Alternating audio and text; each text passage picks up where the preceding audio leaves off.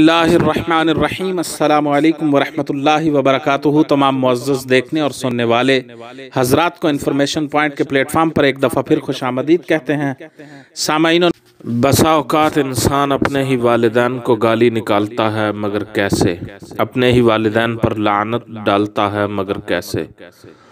اپنے ہی والدین کو برا بھلا کہتا ہے اپنے ہی ماں باپ کو برا بھلا کہتا ہے مگر کیسے تو آئیے جانتے ہیں کہ کیسے انسان اپنے ماں باپ کو برا بھلا کہتا ہے لانت ڈالتا ہے۔ صحیح البخاری میں حضرت عبداللہ ابن عمر رضی اللہ تعالی عنہ سے مروی ہے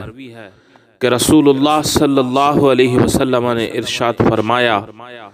یقیناً سب سے بڑے گناہوں میں سے یہ ہے کہ کوئی شخص اپنے والدین پر لعنت بھیجے۔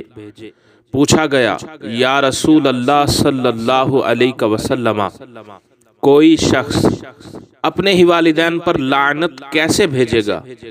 آن حضرت صلی اللہ علیہ وآلہ وسلم نے ارشاد فرمایا کہ وہ شخص دوسرے کے باپ کو برا بھلا کہے گا، تو دوسرا بھی اس کے باپ اور ماں کو برا بھلا کہے گا۔ تو یہ بخاری شریف کی روایت ہے، جسے عبداللہ ابن عمر نے روایت کیا ہے کہ کوئی شخص اپنے ہی والدین پر کیسے لعنت بھیجے گا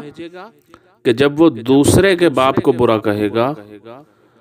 تو دوسرا بھی اس کے باپ اور ماں کو برا بھلا کہے گا۔ یعنی بدلے میں اپنے ماں باپ کو لعنت ڈلوانا ہی ہوا۔ سو دوسروں کے ماں باپ کو برا بھلا مت کہو تاکہ لوگ تمہارے ماں باپ کو برا بھلا مت کہیں۔